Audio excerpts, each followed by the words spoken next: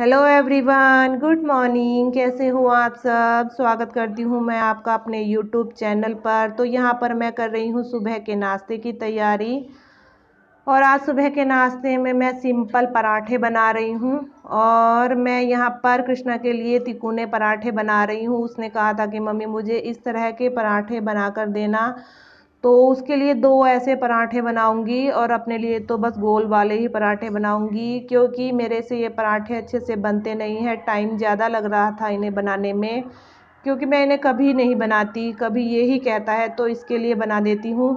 मुझसे बनाने आते नहीं हैं ठीक से ये तो एक पराठा मेरा बनकर हो गया है तैयार, और दूसरा भी वैसे ठीक ही बन गया है। कोशिश करते हैं तो हर काम हो जाता है तो बस नाश्ते का हो गया है सारा काम। उसके बाद बस मैं आ गई हूँ किचन की साफ़ सफ़ाई करने के लिए।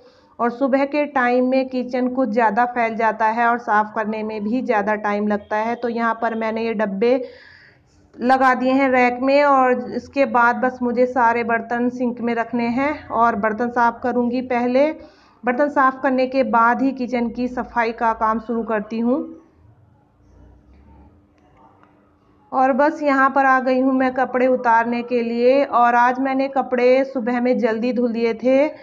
सुबह जल्दी मैं पाँच बजे उठी थी तो उसी टाइम मैंने मशीन लगा दी थी तो मेरे सारे कपड़े धुल गए हैं। और इस टाइम ज़्यादा नहीं हुआ है अभी टाइम। साढ़े आठ का टाइम हुआ है और सारे कपड़े सूख गए हैं। तो जो कपड़े सूख गए हैं वो सारे उतार कर रख दूँगी। और मशीन में कपड़े सुखा देते हैं तो उन्हें सूखने में ज़्यादा टाइम नहीं लगता, जल्दी सूख जाते हैं सारे कपड़े। इस, बस यहाँ से कपड़े उतार कर रख दूँगी और अभी मेरा एक राउंड के कपड़े रह गए थे, लाइट चली गई थी तो उसके बाद बस मुझे ये कपड़े धुलकर डालने हैं। अगर लाइट का मैं इंतज़ार करती रहती तो लाइट का कुछ पता नहीं होता। जो गाँव में रहते हैं उन लोगों को पता होगा कि गाँव में किस तरह की लाइट आती है। कोई फिक्स टाइम नहीं होता लाइट का तो मैंने सोचा लाइट का इंतज़ार करने से कोई फ़ायदा नहीं है। धुलकर डाल ही देती हूँ ये कपड़े भी सूख ही जाएँगे।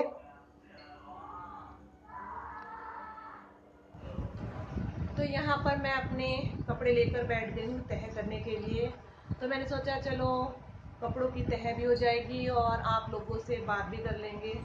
वो ये कहावत है ना, एक पंथ दो काज, दोनों काम एक साथ हो जाएँगे। और मैं आज आप लोगों से एक बात बताऊँ। मैं ऐसे कैमरे के सामने बैठकर बात करती हूँ ना तो मुझे बहुत ज़्यादा घबराहट सी होती है। मेरे से ऐसे बात नहीं होती, डर सा लगता है कि कहीं कुछ गलत ना बोल दूँ। होती नहीं है, इसलिए मैं ज़्यादातर अपनी वीडियो वॉइस ओवर करके बनाती हूँ। अब तो थोड़ा सा फिर भी मैं हिम्मत करने लगी हूँ। शुरू शुरू में तो बिल्कुल भी कैमरे के सामने बैठकर बात करने में बहुत ज़्यादा डर लगता था। पता नहीं क्यों अजीब सी घबराहट होती है। होती नहीं है मेरे से ऐसे आप लोगों से बात। बहुत हिम्मत करती हूँ कि मैं ऐसे ही वीडियो बनाऊँगी, लेकिन मेरे से नहीं बनती। और मैं सब की वीडियो देखती हूँ मुझे बहुत अच्छी लगती है। कितने अच्छे से सब लोग बात कर लेते हैं, लेकिन पता नहीं क्यों मेरे से नहीं हो पाती। और मुझे एक कमेंट भी आया था इस चीज़ के लिए कि आप देहरादून ब्लॉगर रश्मि शर्मा की वीडियो देखा करो। वो बहुत अच्छी वीडियो बनाती हैं। तो उनकी वीडियो तो मैं बहुत दिन से देखती हूँ। जब से कि हमने अपना स्मार्टफ़ोन खरीदा है, तब से मैं उनकी वीडियो देखती हूँ। उनकी और बहुत बड़े और भी यूट्यूबर हैं, जैसे कि पाकि फैमिली प्रियादीप और एक चंडीगढ़ की प्रियंका हैं। उनकी, बहुत सारे यूट्यूबर हैं, प्रीति उनकी बहन तो बहुत सारे हैं जिनकी मैं वीडियो पहले से ही देखती हूँ और अब भी देखती हूँ। अब बस मुझे इतना टाइम नहीं मिलता। एक तो खुद की वीडियो में लगे रहते हैं और जो हमारे फ्रेंड है, उनकी वीडियो देखनी है हमें। तो इतनी नहीं लेकिन देखती ज़रूर हूँ। देहरादून ब्लॉगर रश्मि शर्मा की और एक पाकि फैमिली ब्लॉग। ये दोनों तो मैं रोज़ देखती हूँ, मुझे बहुत अच्छी लगती है इनकी वीडियो। तो उसमें कमेंट आया था कि आप उनकी वीडियो देखा करो। बहुत अच्छी वीडियो बनाती है तो वाकई में मैं तो बहुत बड़ी यूट्यूबर है, बहुत अच्छी वीडियो बनाती हैं। कितने अच्छे से बोलती हैं, मुझे उन्हें देखकर ऐसा लगता है कितनी परफेक्ट है हर चीज़ में, कितना अच्छा बोलती हैं, कितनी अच्छी वीडियो बनाती हैं, और हम कहाँ उनसे उनकी बराबरी कर सकते हैं। तो उनके जैसा तो हम सोच भी नहीं सकते बनने की, वो इतनी बड़ी यूट्यूबर हैं, इतने दिन से काम कर रही हैं यूट्यूब पर, हम तो अभी बहुत ही नए हैं अभी अभी आए हैं। तो उनके जैसा तो हम बनने के कभी सपने भी नहीं सोच सकते। मैं तो सोच ही नहीं सकती इतना बड़ा। बहुत अच्छी लगती है मुझे वो। तो जैसे भी होती है, हिम्मत करके कर लेती हूँ। और देखिए, एक किसी की वो तो होती, नकल तो हम कर ही नहीं सकते। अगर मैं उनकी नकल करूँगी तो आप ही लोग कहेंगे कि ऐसे कर, उनकी, उसकी नकल करती है। क्योंकि मैंने देखा है, बहुत जो एक दूसरे की नकल करके वीडियो बना रहे हैं उनमें कमेंट पढ़ पढ़ लेते हैं हम लोग तो उसमें होता है कि उसकी नकल कर रही है। कल उसने बनाया ऐसी वीडियो, आज आपने बना दी। तो ऐसे भी बोलते हैं, और वैसे भी नकल भी नहीं होती, हर किसी से तो नकल भी नहीं होती।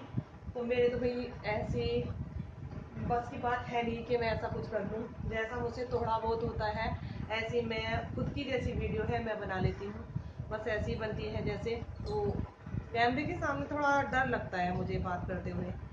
तो देखिए, आपके साथ बात करते करते मेरे कपड़ों की तह भी हो गई। और आज बस थोड़े से कपड़े प्रेस करूँगी अगर, और गर्मियों में प्रेस करने का मन नहीं करता बिल्कुल भी।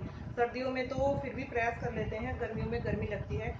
वो तो अभी इतनी तेज़ गर्मी नहीं हो रही कि बर्दाश्त से बाहर हो रही है। अभी तो नॉर्मल है मौसम, इतनी गर्मी नहीं हो रही कि हाँ पसीना टपक रहा है।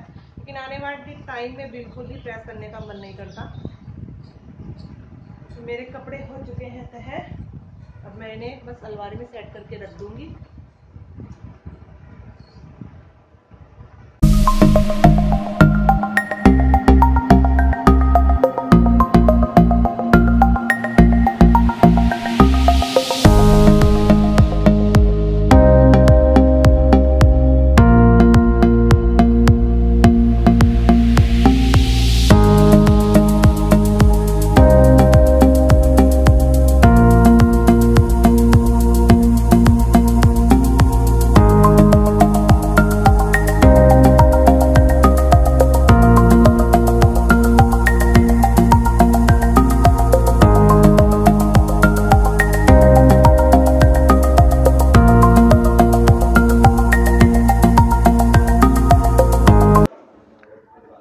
मैंने सारे कपड़े प्रेस करके रख दिए हैं और इसके पापा की पैंट की जो नीचे से तुरपन होती है, वो थोड़ी सी उधड़ रही थी, वो भी मैंने सही करके रख दी है।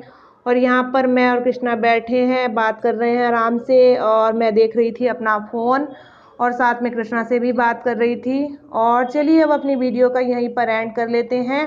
अगर आपको वीडियो अच्छी लगी हो तो प्लीज़ लाइक कर देना और जो कोई भी मेरे चैनल पर नया हो तो प्लीज़ मेरे चैनल को सब्सक्राइब कर लेना। मिलती हूँ आपसे कल एक अच्छी सी वीडियो के साथ। तब तक के लिए बाय बाय।